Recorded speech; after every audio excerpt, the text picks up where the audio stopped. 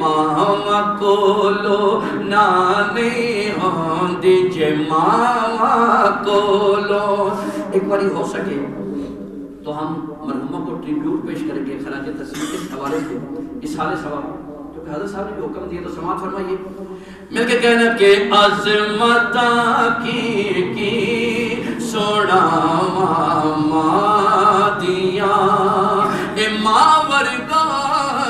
खार न कोई।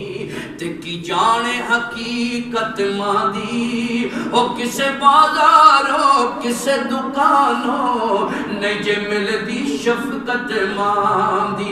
ते जिस दे अमल न होवे पल बस वेखे सूरत मादी। आदम लखा हजा तू वद के।